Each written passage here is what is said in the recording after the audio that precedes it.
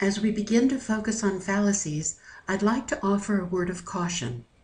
For a substantial portion of this class, we'll be zeroed in on what's wrong with an argument, any argument.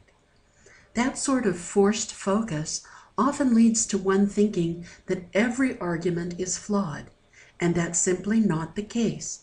Yet it's vitally important to learn how to recognize when an arguer is using tactics that do not serve you well. If you're being asked to make a decision or change your way of thinking, and maybe even your life, based on what you're being told, you have a right to expect honesty and full disclosure so you can make a well informed decision. And you need to have some protection against those who would purposely lead you astray. Learning how to recognize fallacies is almost as good as a strong shield in battle. A fallacy is a flaw in reasoning. It's a misrepresentation that causes us to see less than a clear picture of the question or issue under discussion. Some fallacies play to our desires, making us want to believe in the error because it makes us feel good. It doesn't require us to change our way of thinking, or it holds out hope for fame, fortune, or other fantasy. Others are not so nice. They frighten us with dire consequences, or they flatter or use false information to lead us astray.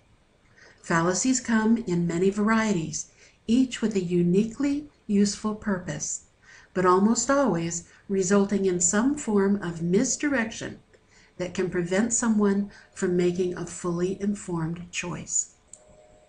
The simplest reason for being concerned about fallacies is that you have to make some very big decisions in life. You may want to buy a car, or a home, or some other major purchase. You may need to invest for your future, or buy insurance to protect your home and family. You may be asked to vote. Some of the biggest decisions we make are based on the arguments someone else has made.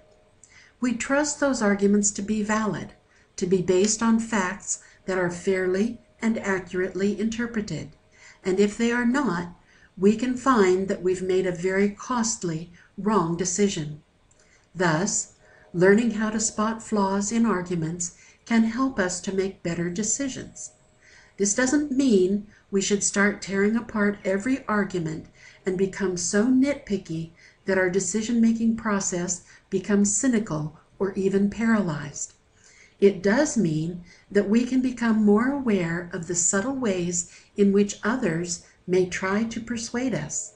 It does mean we can have more control over the choices we make, which means we can be in better control of our lives. Many fallacies have been formally defined and categorized. Trying to get a handle on all of those can take an entire career. However, there are some fallacies used so frequently we should be aware of how to spot them and what purpose each of them serves in an argument. This list shows some of the most common fallacies, and I've divided them into generally accepted categories. We will discuss in more depth only a few of these, but you should try to learn independently about those we gloss over.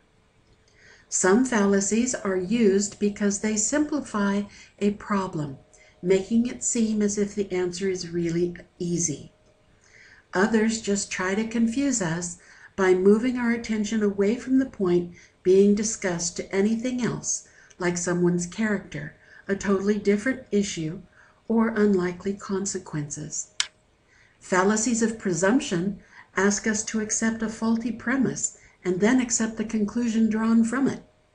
And there are many types of appeals to get us thinking with our hearts or feelings rather than our heads. Just to complicate the entire issue of named appeals is the fact that some of the appeals labeled here as fallacious can also be used appropriately. For instance, an appeal to pity is acceptable when trying to motivate others to action. An appeal to authority is appropriate when the authority is an expert or highly regarded in the subject under discussion. Even a slippery slope argument can be legitimate if the likelihood of progression is supported by strong facts. Don't let this long list cause you distress. We will be examining only a few of the fallacies you're most likely to run across in the writing of others and in your own thinking and writing.